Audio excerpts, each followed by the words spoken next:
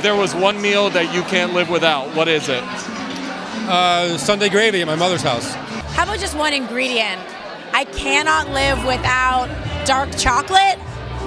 I don't know. I'm very lucky. I mean, that's a hard thing to say, but every time I eat with my family, I'm enriched. I get I, I get better as a person. So if I didn't have my family, I couldn't live. How about you, Curtis? I make pancakes with my kids, and they get in there, they make such a mess everywhere, but like the making of the pancakes is brilliant, the eating of the pancakes, it's a simple stuff. Okay, well, people have asked me what my last meal on earth would be. My death row meal. Can I give you that? Because I thought a lot about that. Okay. Scary. I know.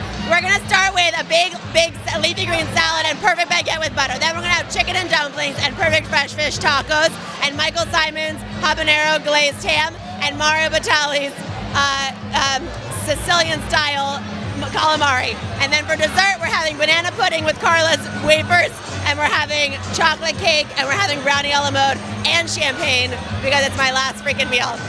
If you had one meal that you could not live without, what would that meal be? Oh my gosh, we just had that meal on Saturday.